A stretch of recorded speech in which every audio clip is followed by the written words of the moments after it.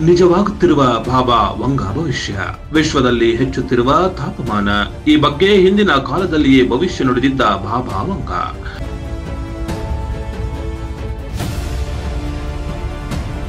ನಮಸ್ಕಾರ ಗೆಳೆಯರೆ. ಎರಡ್ ಸಾವಿರದ ಇಪ್ಪತ್ನಾಲ್ಕರ ಈ ವರ್ಷ ಎಲ್ಲೆಡೆ ಬಿಸಿಲಿನ ತಾಪಮಾನ ಅಧಿಕವಾಗುತ್ತಿದೆ. ನಮ್ಮ ದೇಶದಲ್ಲಿ ಮಾತ್ರವಲ್ಲ, ಇಡೀ ಜಗತ್ತಿನಲ್ಲಿಯೇ ಈ ವರ್ಷ ಅತ್ಯಧಿಕ ತಾಪಮಾನ ಕಂಡು ಬರಲಿದೆ ಎಂದು ವಿಶ್ವ ಹವಾಮಾನ ಸಂಸ್ಥೆ ಈಗಾಗಲೇ ಎಚ್ಚರಿಕೆಯನ್ನ ನೀಡಿದೆ. ಈ ವರದಿಯ ಹಿನ್ನೆಲೆಯಲ್ಲಿ ಈಗ ಮತ್ತೆ ಬಲ್ಗೇರಿಯಾದ ಬಾಬಾ ವಂಗ ಸಾವಿರದ ಒಂಬೈನೂರ ತೊಂಬತ್ತಾರರಲ್ಲಿಯೇ ಹೇಳಿರುವ ಭವಿಷ್ಯದ ಬಗ್ಗೆ ಅವರ ಅನುಯಾಯಿಗಳು ಬೆಳಕು ಚೆಲ್ಲಿದ್ದಾರೆಂಬ ಮಾಹಿತಿ ಒದಗಿ ಬಂದಿದೆ.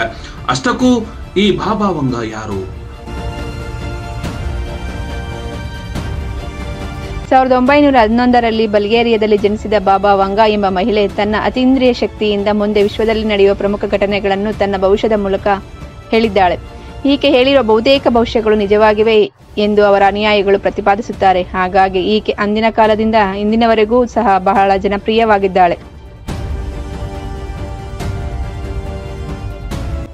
ಬಾಲ್ಯದಿಂದಲೂ ಕುರುಡರಾಗಿದ್ದ ಬಾಬಾ ವಂಗ ತನ್ನ ಭವಿಷ್ಯದಿಂದ ಸಾವಿರದ ಒಂಬೈನೂರ ತೊಂಬತ್ತಾರರಲ್ಲಿ ಮರಣ ಹೊಂದಿದ್ದರೂ ಸಹ ಈಕೆಯ ಹೆಸರು ಜಗತ್ತಿನಾದ್ಯಂತ ಬಹಳ ಪ್ರಸಿದ್ಧಿ ಪಡೆದಿದೆ.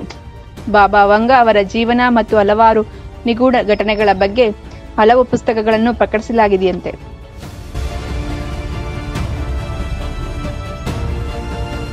ಈಕೆ ಹೇಳಿರುವ ಸೋವಿಯತ್ ಒಕ್ಕೂಟ, ಜೊಕೊಸ್ಲೋವಿಯಾ ಮತ್ತು ಯುಗೋಸ್ಲೋವಿಯಾ ವಿಭಜನೆಯಾಗಿದೆ. ಸ್ಟಾಲಿನ್ ಸಾವಿನ ದಿನಾಂಕ, ಬೋರಿಸ್ ಮರಣ, ರಾಜಕುಮಾರಿ ಡಯಾನಾ ಸಾವು ಅಷ್ಟೇ ಏಕೆ? ಸ್ವತಃ ಬಾಬಾ ವಂಗ ಸಾವಿನ ದಿನಾಂಕವನ್ನು ಸಹ ಮೊದಲೇ ಹೇಳಿದ್ದಳಂತೆ.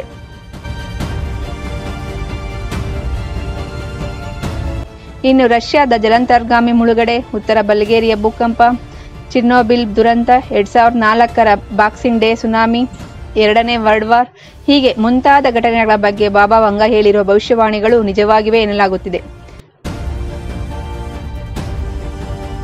ಅದೇನೇ ಇರಲಿ, ಈಗ ಎರಡ್ ಸಾವಿರದ ಇಪ್ಪತ್ನಾಲ್ಕರಲ್ಲಿ ತೀವ್ರ ಹವಾಮಾನ ಬದಲಾವಣೆಯಾಗುತ್ತಿದ್ದಂತೆ ನೈಸರ್ಗಿಕ ವಿಕೋಪಗಳು ನಡೆಯುತ್ತಿವೆ ಎಂಬ ಬಾಬಾ ವಂಗ ಹೇಳುತ್ತಿರುವ ಭವಿಷ್ಯವಾಣಿ ನಿಜವಾಗುವಂತೆ ಕಂಡುಬರುತ್ತಿದೆ. ಎಲ್ಲೆಡೆ ಬಿಸಿಲಿನ ಬಿಸಿ ಗಾಳಿ ಅಧಿಕವಾಗುತ್ತಿದೆ, ಬಿಸಿಲಿಂದ ಪ್ರಕೃತಿಯ ವಾತಾವರಣ ಬಿಸಿಯಾಗುತ್ತಿದೆ. ಹೀಗೆ ಮುಂದುವರೆದರೆ ಅನೇಕ ಅವಘಡಗಳು ಸಂಭವಿಸಬಹುದು ಎಂದು ಹವಾಮಾನ ತಜ್ಞರು ಹೇಳುತ್ತಿದ್ದಾರೆ. ಒಟ್ಟಿನಲ್ಲಿ ಭವಿಷ್ಯ ನಿಜವಾಗುವ ಎಲ್ಲಾ ಲಕ್ಷಣಗಳು ಜಗತ್ತಿನಲ್ಲಿ ಗೋಚರಿಸುತ್ತಿವೆ.